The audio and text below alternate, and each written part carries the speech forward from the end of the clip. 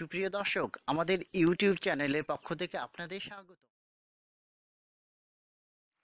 সুপ্রিয় দর্শক, আজকে আমি আপনাদের সামনে তুলে ধরব বাংলাদেশের সর্বোত্তরের পঞ্চগড় জেলার তেঁতুলি উপজেলার একশো বিশ বছরের পুরনো ঐতিহ্য সম্পর্কে। সুপ্রিয় দর্শক এটি তেঁতুলি উপজেলার পুরাতন বাজার সংলগ্ন মহানন্দা নদীর তিরিশ মিটার পূর্ব দিকে অবস্থিত। এটি উনিশশো এক সালে বাবু হরেন সাহা নির্মাণ করেন বলে এটি বাবু হরেন সাহার শিব মন্দির নামে পরিচিত। সুপ্রিয় দর্শক, আবার কেউ কেউ মনে করেন মহাদেব আগারওয়ালা একশো বছর পূর্বে এটি নির্মাণ করেন এবং মারোয়ারি সম্প্রদায়ের লোকেরা এটি ব্যবহার করতেন বলে জানা যায়।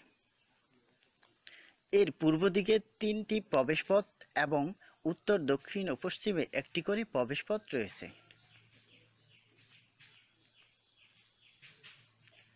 বর্তমানে মন্দিরটি চারপাশে এবং উপরে গাছপালায় ভরে গেছে। এর দেওয়ালে বিভিন্ন মানুষের ছবির চিহ্ন পাওয়া যায়।